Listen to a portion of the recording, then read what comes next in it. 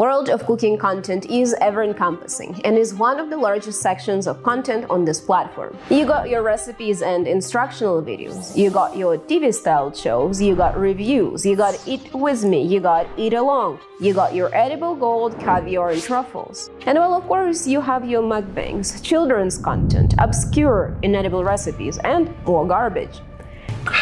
I'm burning too many calories. Oh, I'm already good. sweating and we haven't even eaten this yet. Good. Seemingly, YouTube food content is spreading into other niches too, be it vlogging or challenges, and now this channel too. Welcome aboard, I am Anna and in this video we will review YouTube food content and we'll see how it desperately tries to isolate itself from its political background. Oh wait, but don't we all just want to keep politics out of our plate? Anytime you see food creators poke in direction of politics, like Adam Ragusea sometimes does, for example, comment section seemingly explodes with comments that call to abandon politics and simply enjoy our meal. But the question here is bigger. It's not if we can isolate politics from food, but if we can isolate food from politics. And the answer is we can try. Mukbangs are perhaps one of the most apolitical content that you can find on this platform. Or at least it seems so if you watch mukbangs, which I dare you to not do. I already sacrificed my mental health for research for this video. You don't have to struggle the same fate. Here is selection of beautiful Asian ladies which are eating live shellfish for no logical reason whatsoever. You may think that this is weird, but rules of the internet imply that somebody is to this. Please don't click away, we're only warming up. Mukbangs seemingly have everything you can wish for in the content. There is drama, there is pure entertainment, there is laughs, there is joy, and copious amounts of food, of course. But above all, mukbangs provide something different the interpersonal connection, like no other. Welcome back to my channel. My name is Stephanie, and today we are back with another dun Dun, dun dun. mukbang. Woo! Eating postulates a ritual. Eating is a practice that is strongly socially controlled. We eat with people we love. We eat with people we care about. We eat with people who we deem to be important. Eating rituals can also be abusive and restrictive. We can be denied place at the table. We can be denied particular ingredients due to our social status, or we can be denied invitation to the party where food will be shared among people. Eating rituals are associated with how, what, and when we eat. Rituals are shaped by our society, by our culture, by time and place we're born, and much, much more. Your actual lunch rituals are shaped by industrial revolution. In 17th and 18th century, as more people were moving into cities to work at plants, in mines, and in factories for extended hours, people were not able to return home for their meal anymore. This change in work environment, which was largely shaped by development of industrial capitalism, did lead us to create a lunch. Back then, we started to eat at least one of our meals in group of our co-workers, strangers, or completely alone. We also developed a need for a meal that can be transported easily, packed at home, or sold on the street. This is how sandwiches traveled from being a party food to being a handheld lunch food that we currently know. This change in the work environment that was largely shaped by development of industrial capitalism changed our food rituals. It changed how we eat. Mukbangs, despite being presented to us as a form of shock entertainment, actually have a very ritualistic setup. In South Korea, where mukbangs originate, eating alone is a form of rebellion over ritualistic tradition of eating in a very structured group. But rebellion over tradition also means that eating alone carries a particular social stigma. And well, if you are eating alone in digital age, why won't you share your company with a stranger on the internet? Practice of eating alone becomes a form of a ritual of late capitalism. We now spend more time alone than ever. We frequently change workplaces. We live far from our families and we work far from our households. In the world where any form of social unit is increasingly pricey and hard to maintain, we share our meals with online strangers. Mukbangs exist on YouTube platform as completely apolitical content. Or at least it seems so. But the context in which mukbangs became popular is nothing but politics. Mukbang origin is in denial of tradition, but popularity of mukbangs is determined by the world of screens, by the world of isolation and COVID lockdowns. It is a world shaped by pandemics, solitude, and loneliness, in which creators are presented to us as lonely as their viewers. But there is more to mukbangs. There is also Mr. Beastification of content. Content featuring caviar, wagyu beef, or truffles is not uncommon on this platform. And well, I understand that it can be quite fun. I do watch a lot of cooking content. I like to cook and follow plenty of creators on this platform. I do think that watching Sola and Priya shovel caviar into gingerbread mansion is fun to watch. But the issue with food content on this platform and largely across the internet remains the same. We showcast the best, the freshest, the most expensive ingredients. There is no space for your cheap ass garbage food on this platform. You can take that Velveeta brick and shovel it down the trash can.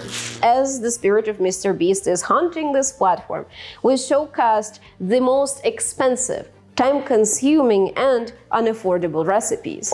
Recipes often incorporate ingredients which are, first of all, unnecessary, but also expensive and hard to obtain. Food content becomes a stage in which creators are competing with who of them can create the biggest, the most expensive, most elaborate, and time-consuming recipe. Competition to become Mr. Beast of CookTube yet remains running. Yet again, there is anything but context in cooking content. And well, I understand this is in part because not everything has to be presented as political, even though everything is. In case of cooking content, avoiding politics of food is a political decision in itself. Remaining apolitical means that you will appeal to a wider audience and is simply more profitable. Not every brand wants to build any association between their brand and political viewpoint of particular creator. And while of course I don't call for all the creators suddenly to start making more political content, at least some amount of context provided in some of the videos would be great. Our perception of food through content remains largely the same. We see luxurious ingredients, usually expensive ones, high quality ingredients. We see recipes that require skill, recipes that require extended quantities of time and effort. We see recipes that require multiple tools like that one. The problem is that this thing is 300 bucks and you don't really need it unless you cook a lot. And also, American family needs to spend about 70% of their income on groceries if they want to live according to the latest understanding of a healthy diet. Food content today becomes not just a form of entertainment or a form of instructional video that teaches you new techniques or how to cook particular recipes. Instead, it becomes a show of experience that you cannot afford. In America, it is estimated that 40 to 50 million people live in state of food insecurity. 30 millions go starving every single day, including one in six children. But don't you worry, they are going to repeal child labor laws so this one in six starving children can start pulling themselves by the bootstraps very, very soon. Cooking is by far the most time-consuming household chore. On average, women report cooking for roughly 5 hours every single week within the United States. But this number varies significantly depending on culture that you look at. One thing though remains constant.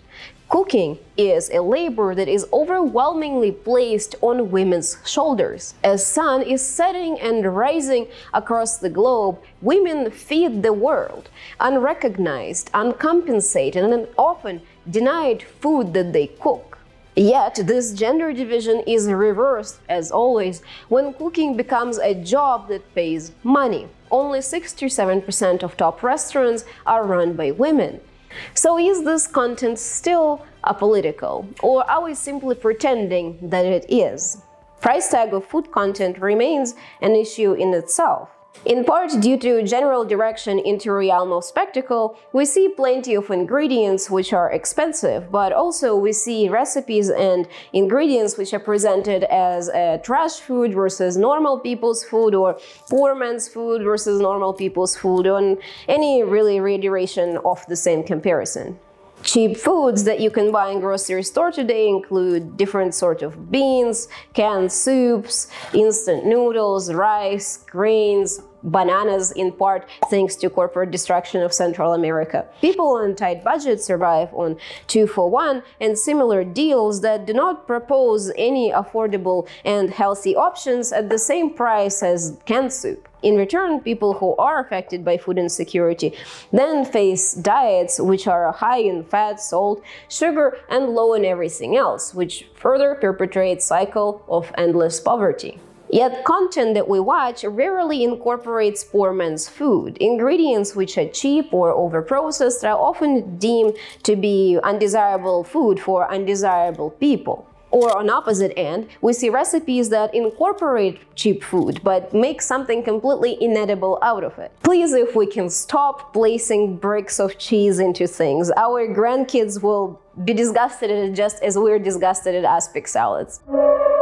In the world of today, hunger and food insecurity are rising for the first time in decades. In the world of prosperity and access, we would rather allow our food rot in a landfill than give it for free to starving children. Hunger seems to be a ghost of our past. Actually, there is a type of content on YouTube that is highlighting poverty and food links and does it fairly well and it is historical cooking channels. Channels like Townsend or Max Miller or Emmymade do a fairly good job highlighting recipes which are connected to poverty and highlighting social context in which food was created. There is still an issue though. Within history, a thing of the past, something that we had already overcome. We do not understand that we now too live in historical moment maybe 60 to 70 years from now, somebody will write their PhD about food insecurity in 21st century. Maybe they will even use this video as a reference material. We live in history. Poor man's food is not a thing of the past. It is also a thing of the present. How we are presented poor man's food sometimes is also an issue. We think of perhaps uh, McDonald's or Burger King or Chipotle as a poor man's affordable food. But in reality, it is not. Taking food out is not cheap. Yet we were sold the idea of fast food as a being cheap and affordable option. People like Trump or Warren Buffett can sometimes be seen or presented as enjoying McDonald's burger or Coca-Cola, seemingly staples of American poor man's food. But this is a corporate idea of cheap food. Actual poor man's food in America is tuna mac or beanie weenie stew or peanut noodles or casseroles and much, much more. You can surely say that Trump knows what big tasty tastes like, but you can also know that his mom never cooked him a casserole with a canned soup as a star ingredient. 50 years from now, somebody will cook tuna mac as a form of entertainment to say, hey, 50 years ago, people used to eat this because they were so poor.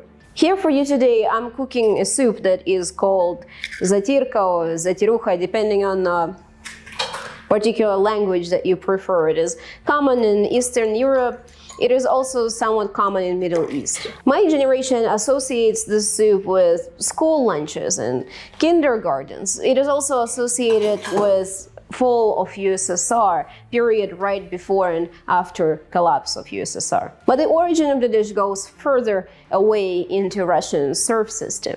Origin of the dish comes from using scrap bits from kneading and baking.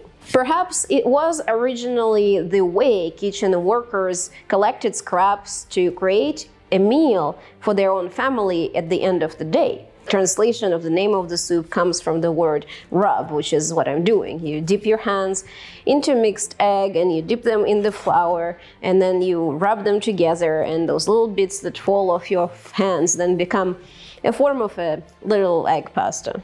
The soup is very cheap, especially if you replace eggs with water.